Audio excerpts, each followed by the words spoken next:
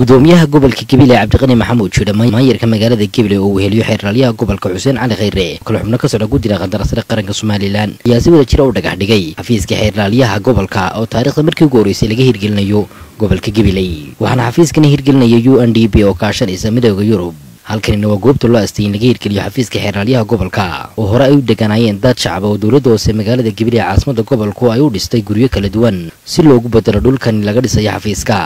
warna waxaa halkaasi ka hadlay mas'uuliyiinta guddiga qandaraasada qaranka iyo sidoo kale mas'uuliyiinta hay'adda ka socda. Anagu aad baan ugu farxsanay maanta inay halkan soo gaadho mashruucan dhismaha xafiiska xiraalinta guud ee gobolka gabley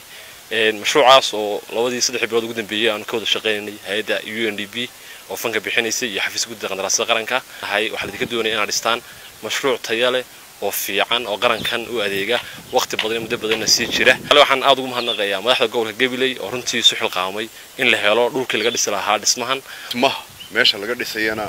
kulley controolkiisa innaga iyo qolada tender boardka iyo gobolka iyo maarata xeeralaalinta iyo kulley waa waa kormeerka waa badan doonaayo waa imanaynaa. Marka kulley qolada kambaniga waxaan leeyahay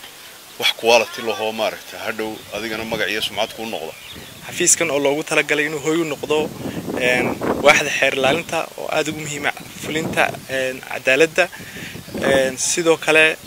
mashruucan oo ay maalgelinayso midooda yurub wuxuu qayb ka yahay mashaariic dhowr ah oo lagu dhisayo xafiisyo iyo muhiimaddu waxa weeyaan in aan muujino in midooda yurub garab taagan yahay dowladda somalilan halkaas ka hadlay xeeraalyaha gobolka xuseen cali khayre iyo maayarka magaalada gabiley farxad bay noo tahay inaanu dhagax dhigno xafiiskii xeeraalinta gobolka gabiley oo laga dhisayo magaalada gabiley runtii anoo ku hadlaya afka xeeraalyaha guud ee qaranka oon maanta inala joogin oo shaqo qaran ku maqan waxaan u mahad celinayo ugu horeyn midooda yurub oo bixinaysa lacagta ku baxaya dhismahan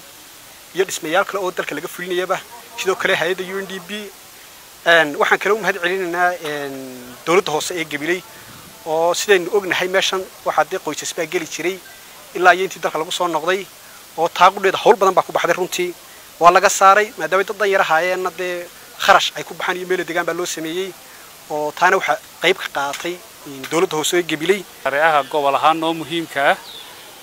halkan laba qoys baa deganaayo runtii aad iyo aad u jilicsan oo dad duruuf ahaan dhaqaal ahaan na hooseeya xanuunano iska lahaa oo qaarkoodna afa yihiin dabadeedna waxaanu maaraynay ka dawlad ahaan annaga iyo xafiiska xeer ilaalintaba in dadkaasi runtii aan cidlo la dejinay guryo loo dhiso oo ay ay degaan marka iyagana waa u mahad celinaynaa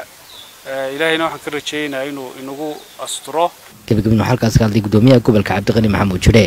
si gaara waxaan ugu mahad celinayaa runtii cidda fanka bixisay midooda yurub iyo hay'adda u n d b tanderboolku runtii isaguna runtii transparent kusoo xulay oo shirkaddaa ku guulaystay siiyey xeraalintoo runtii dadaal badan ka gashay iyo ugu dambayn dowladda hoose degmada gabiley maayarkeeda iyo gulaheeda deegaanka runtii shaqo weyn ka qabtay bulshadii halkan deganayd maadaama dad muwaadiniina yihiin xaqna waddan ku leeyihiin u raray runtii meel ku habboon inay dejiyaan oo meeshiina baneeyey meeshuna aad ogtihiin inay ku habboon tahay xeer ilaalinta maadaama maxkamadda ka soo horjeedo